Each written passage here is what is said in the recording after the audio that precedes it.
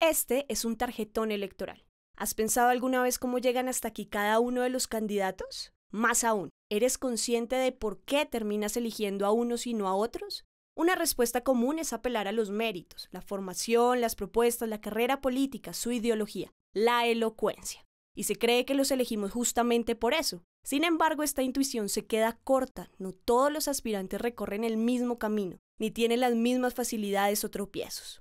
De hecho, hacer política en Colombia es una actividad de alto riesgo, desinformación, amenazas, extorsiones, secuestros, asesinatos. Y querámoslo o no, nuestra decisión de voto se ve afectada por todo esto, por la simple razón de que limita nuestras opciones. Y es que el camino para llegar al tarjetón no está pavimentado solo con logros personales. Quizás a la próxima Menchú se la bajaron en el camino. ¿A balazos? No necesariamente. Para entrar en el radar de los votantes hay que sortear obstáculos de muchas naturalezas. Pueden ser económicos, raciales, de género, de clase. Pero hoy vamos a hablar de unos en particular, los que enfrentamos las mujeres. Desde las candidatas más tradicionales y reconocidas de los partidos, que más mojan prensa, hasta las que están guerreando liderazgos desde las márgenes de la sociedad, todas enfrentan esa capa de dificultades adicional propia de las mujeres que se suma a las barreras comunes a todas las personas. Para el país estas dificultades son invisibles y aunque se haga una lista exhaustiva parece no ser suficiente para motivar el cambio.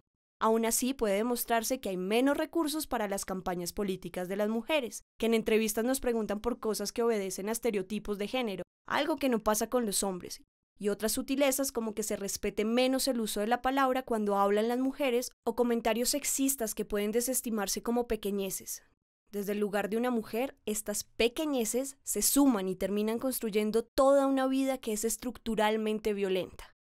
Esto fue lo que la Red Nacional de Mujeres quiso explorar en el caso particular de las circunscripciones especiales transitorias de paz. Dentro del acuerdo de paz firmado entre el Gobierno Nacional y las FARC-EP, se crearon 16 curules para las víctimas y se determinó que las listas tenían que ser 50-50, igual número de hombres y de mujeres. Pero ¿cuál fue el resultado en las elecciones para el Congreso en 2022? Solo cuatro mujeres fueron elegidas, o sea, el problema no es solo llegar al tarjetón. La red encuestó a las candidatas, ¿y qué reportaron? Persecución de los partidos tradicionales, ofertas de dinero para desistir de la candidatura, amenazas a ellas y a sus familiares, violencia sexual y desplazamiento forzado. Incluso muchas sintieron que por ser mujeres había rechazo dentro de sus propios movimientos, organizaciones y partidos.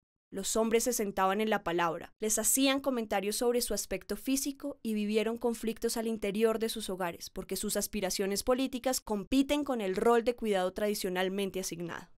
La igualdad de derechos está ahí, por supuesto, en los papeles firmados por congresistas y presidentes, pero la posibilidad de que una mujer sea elegida va más allá de llegar a ser candidata. Lo que pasó en las elecciones de las circunscripciones especiales de paz es solo un ejemplo de muchos. La violencia política contra la mujer es una barrera social histórica que entre todos debemos seguir derribando. Apenas en 1957 las mujeres votamos por primera vez en Colombia. Hoy tenemos algunas encargos importantes y cada vez vemos más candidatas en la escena política. Pero nos falta mucho trecho si aún creemos que la baja participación de las mujeres es cuestión de méritos o que esa violencia política que enfrentamos son pequeñeces y no una violencia histórica de la sociedad. Así que piénsalo bien al momento de juzgar cómo se llega al tarjetón. Contribuye a ser visible la participación de las mujeres. Más aún, abre bien los ojos para evaluar esas situaciones cotidianas que limitan la voz y la participación de las mujeres en los espacios de decisión. Porque, además de leyes, lo que necesitamos para alcanzar la igualdad es darle otra vuelta a esa tuerca con un cambio cultural de fondo.